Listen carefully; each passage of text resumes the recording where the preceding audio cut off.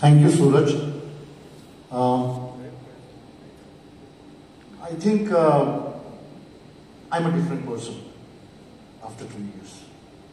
I must admit that. One thing that I realized is I felt extremely proud of our country. The newfound belief and faith in our country to fight every challenge